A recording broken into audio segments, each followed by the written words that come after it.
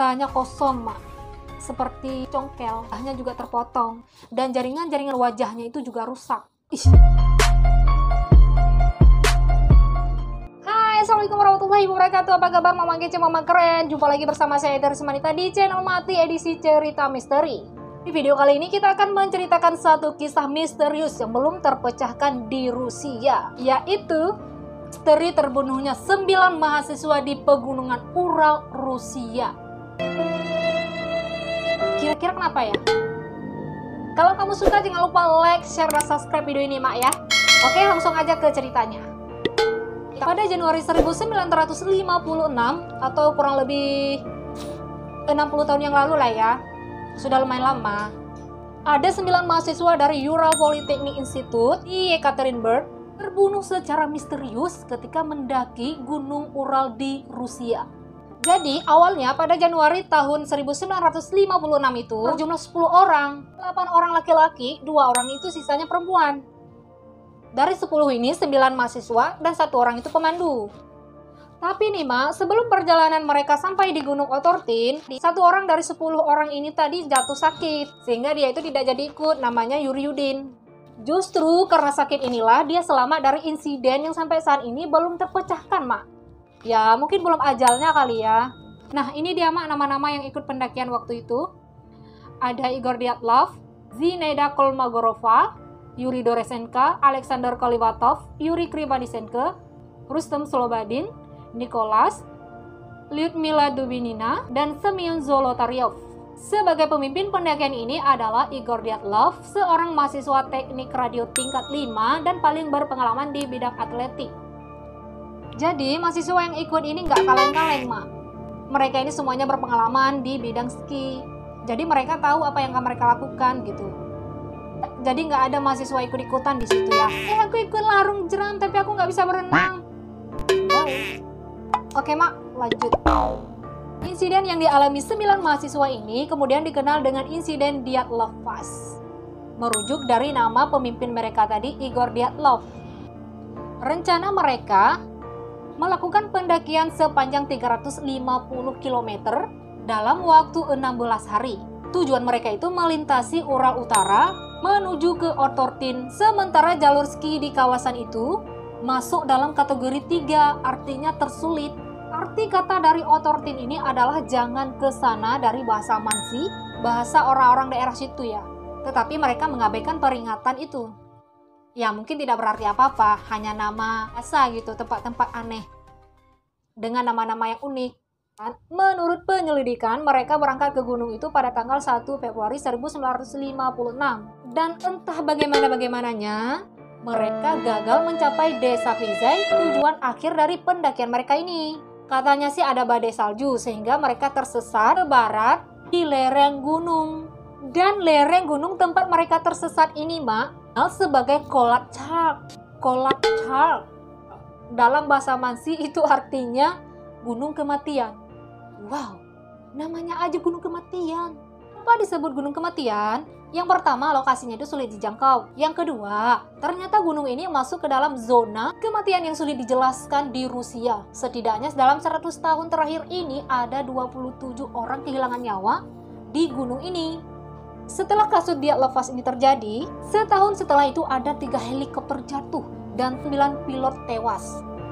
Setahunnya lagi, ada 9 turis hilang, juga ditemukan dalam keadaan tidak bernyawa, tewas.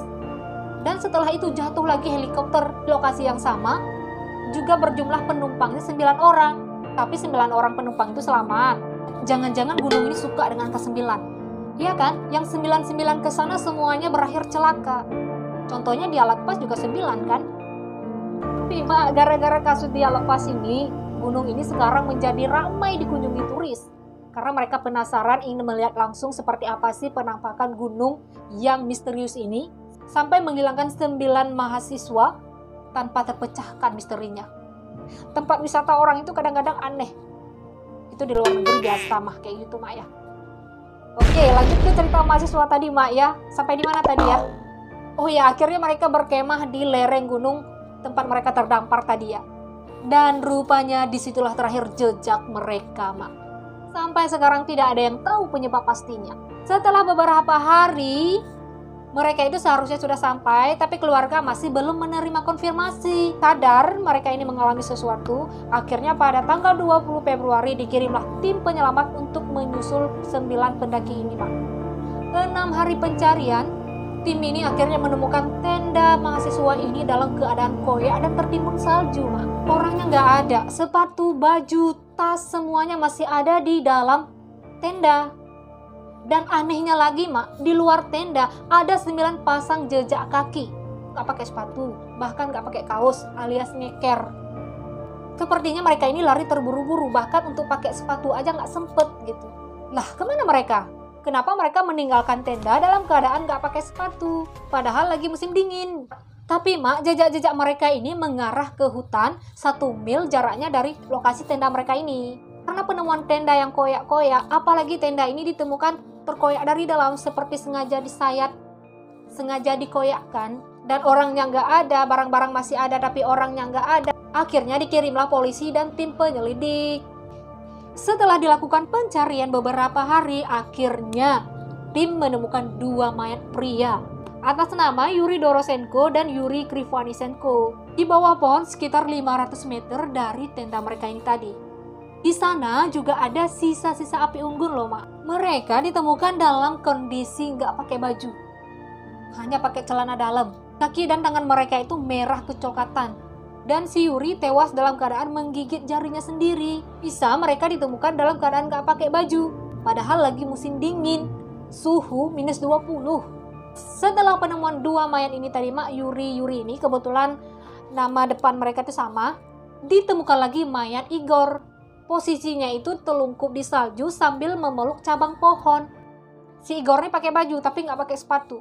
Karena terlalu tergesa-gesa jadi nggak sempat pakai sepatu kali ya. Dan di samping Igor ada mayat Zinaida Kolmagorova. Dan posisi si Zinaida ini mak, dia seperti sedang berusaha mati-matian merangkak menuju tenda balik. Lah yang tadinya lari terburu-buru sampai nggak sempat pakai sepatu, sekarang lagi berusaha balik ke tenda. Kenapa? Aneh kan? Keanehan-keanehan inilah yang kemudian menjadi sebuah misteri yang harus dipecahkan oleh para penyelidik. Belum lagi, mak, di tubuh Zinaida ini ada luka-luka seperti baru siap dipukul pakai tongkat. Apakah mereka saling berkelahi atau memang ada orang lain yang datang mereka melawan atau apalah wallahu alam kita tidak tahu tidak ada yang bisa menjelaskan. Ini masih empat mayat mak yang ditemukan, belum lima mahasiswa lagi masih belum tahu keadaannya seperti apa kan? Kalau kaget lagi nanti, Mak. Hmm, siap-siap. Empat mayat ini tadi, penyelidik memutuskan bahwa kematian mereka itu karena hipotermia. Pada bulan Maret, nemu satu lagi mayat, Mak. Si Rustem Slobadin. Isi mayatnya, Mak, lebih parah dari mayat-mayat tadi, Mak. Tapi bajunya lengkap, ada sepatu, ada baju, lengkap, Mak. Dan jam tangannya itu berhenti pada pukul 8 lebih 45 menit. Jadi sudah empat orang nih, Mak, ketemu mayatnya. Masih ada lima lagi, Mak. Lebih aneh lagi, Mak, setelah lima mayat ini ditemukan. Mereka ditemukan di dalam jurang sedalam 75 meter pada bulan Mei. Berarti tiga bulan setelah penemuan lima mayat tadi. Tentang waktunya itu lumayan lama, Mak ya. Tapi kondisi mereka, Mak, lebih mengerikan. Menggenaskan, kasihan gitu. Si Nicholas tengkoraknya itu retak, Alexander luka di belakang telinga dan lehernya itu bengkok. Dan tulang-tulang Mila dan Simeon Zolotaryov itu patah-patah. Sadis lagi si Mila, matanya kosong, Mak. Seperti congkel, hanya juga terpotong. Dan jaringan-jaringan wajahnya itu juga rusak. Ih, lo nggak bayangin luka-luka seperti ini, Mak. Kayaknya nggak mungkin deh mereka tewas karena kelaparan atau kedinginan. Pasti ada orang ketiga. Bisa saja terbunuh atau diserang oleh makhluk buas karena lukanya itu mengerikan, Mak. Memang sih ada beberapa orang yang beranggapan bahwa mereka ini diserang oleh makhluk buas salju yang bernama Yeti.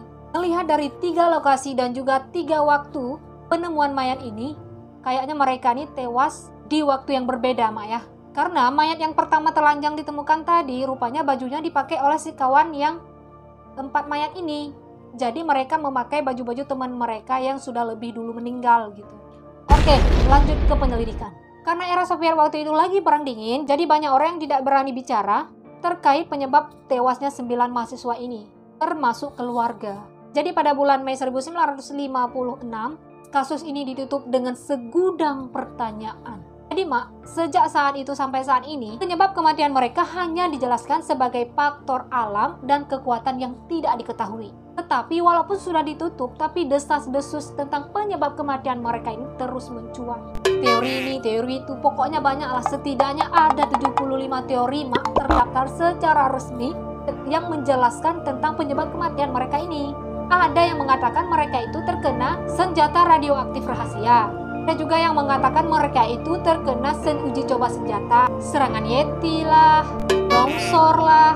Tapi ada satu teori yang mengatakan mereka diserang oleh UFO. What? Tapi takut juga kita mak kalau misalkan betul-betul ada alien. Ya kan? Masalahnya mak sudah bingung, hasil penyelidikan banyak isu-isu ini, akhirnya lahirlah teori konspirasi. Ada yang mengaitkan Igor Dyatlov ini bersaudara dengan wakil insinyur pembangkit listrik tenaga nuklir Chernobyl. Karena nama Dyatlov ini sama dengan nama keluarga dari insinyur ini. Jadi mereka menghubung-hubungkan. Ada juga yang mengatakan bahwa si Igor ini CIA. Pokoknya macam-macam lah, Mak. Tapi tak ada satupun yang bisa menjelaskan penyebab kematian dengan pasti dari sembilan mahasiswa ini. Mungkin sulit terpecahkan karena saksi nggak ada, korban yang selamat nggak ada. Belum lagi kondisi Soviet waktu itu memang lagi perang dingin. Tah, untuk mengubur kebenaran sehingga teori-teori ini sengaja bermunculan, wallahu alam, Mak. Sudah 60 tahun, Mak. Masih belum terpecahkan. Dan baru-baru ini, otoritas Rusia mengklaim misteri insiden Dialovas ini sudah terpecahkan. Setelah kasus ini dibuka setahun yang lalu oleh otoritas Rusia, mereka melakukan penyelidikan dan menemukan penyebab kematian mereka itu karena longsoran salju. Salju lagi. Tetapi banyak yang tidak puas dengan hasil penyelidikan ini, Mak, terutama keluarga korban. Menurut mereka, longsoran salju itu tidak menjawab kematian mereka secara sempurna. Keluarga korban ini dan juga masyarakat luas menuntut pertanyaan dari mengapa para pemain skini melarikan diri dari tenda sampai mati kedinginan. Kedua, kenapa dari mereka ini ada yang menderita luka akibat tumbukan benda tumpul? Kenapa juga ada lidah mereka yang terpotong, ada bibir mereka yang hilang, mata mereka yang dicongkel? Mereka hanya menuntut jawaban dari itu. Kalau semua pertanyaan ini terjawab, mungkin misterinya terpecahkan. Ternyata belum ada teori yang bisa menjawab pertanyaan-pertanyaan ini tadi, Mak ya.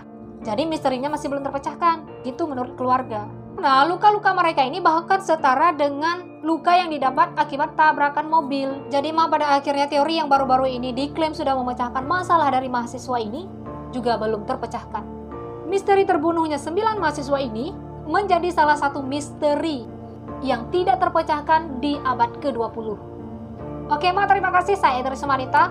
Sampai jumpa di video-video selanjutnya. Wassalamualaikum warahmatullahi wabarakatuh.